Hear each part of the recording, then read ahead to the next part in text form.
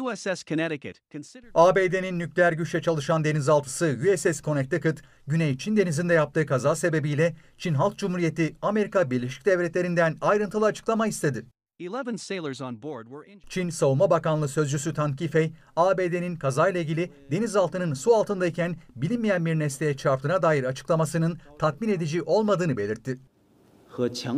Tan, Washington'ın kazanın duyurulmasını bilerek geciktirdiğini ve ayrıntıları gizlediğini söyledi. ABD donanması olaydan ancak 5 gün sonra kısa ve ne olduğu anlaşılmayan bir açıklama yaptı.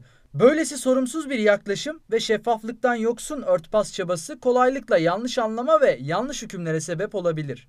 Çin ve Güney Çin denizine komşu ülkeler kazaya dair hakikati bilmek istiyor ve örtbas niyeti olup olmadığını sorguluyor. Sözcü Tan ayrıca ABD'ye sözde seyir sefer serbestisi faaliyetine son verme çağrısı yaptı. Bizce ABD'nin hareketleri Güney Çin denizindeki seyir sefer güvenliğini olumsuz etkilemekte, bölge ülkeleri arasında ciddi endişe ve rahatsızlığa yol açmakta, bölgesel barış ve istikrara ciddi tehdit oluşturmaktadır. Öte yandan ABD donanması 2 Ekim'de Güney Çin denizinde yaşanan kazada 11 denizcinin yaralandığını bildirmişti.